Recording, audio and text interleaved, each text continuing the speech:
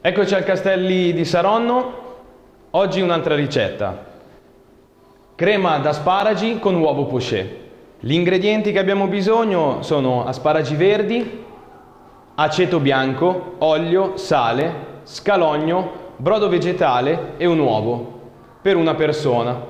Come prima preparazione andremo a pulire gli asparagi, andremo a eliminare la parte dura finale eh, e poi andremo a, con un pelapatate, a eliminare, a pulire la, la parte finale perché rimane più fibrosa.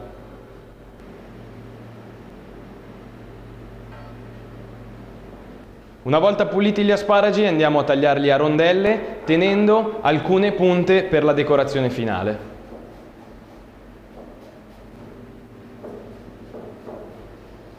Per la decorazione prendiamo le punte eh, degli asparagi e le taglieremo a fettine sottili longitudinalmente.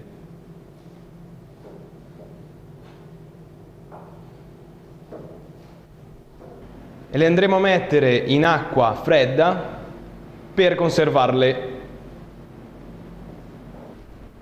Per la crema di asparagi andremo a mettere eh, dell'olio in una piccola casseruola con dello scalogno tagliato a julienne.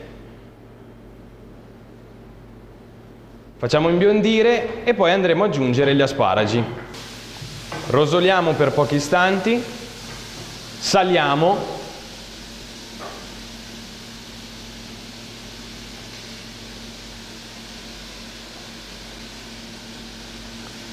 e andiamo a bagnare con del brodo vegetale.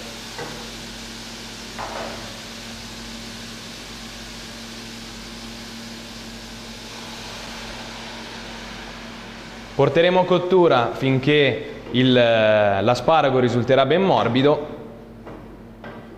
e poi andremo a passarlo in crema. Una volta cotto l'asparago andiamo a frullarlo o con l'aiuto di un mini pinner, di un frullatore a immersione o con un eh, robot da cucina. Lo frulleremo finché risulterà ben liscia e omogenea.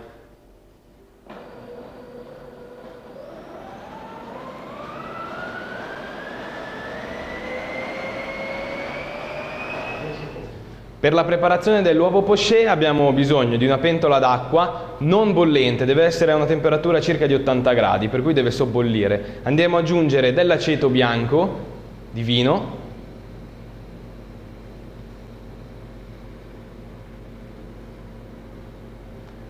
e andremo a formare un vortice nell'acqua dove poi introdurremo l'uovo. L'uovo aperto in una bacinellina per vedere se è integro, andremo ad aggiungerlo a pelo d'acqua nella pentola. Trascorsi 2-3 minuti andremo a togliere il nostro uovo che dovrà risultare morbido all'interno e l'albume dovrà essere completamente cotto. Andremo ora ad impiattare la nostra crema. Un mestolo abbondante di crema agli asparagi tiepida sul fondo della fondina.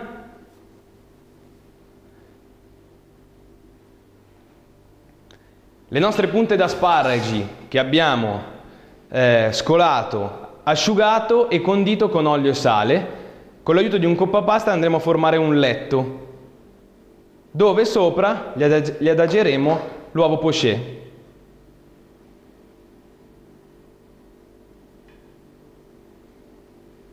Togliamo il coppa pasta e possiamo finire con un giro di olio extravergine d'oliva.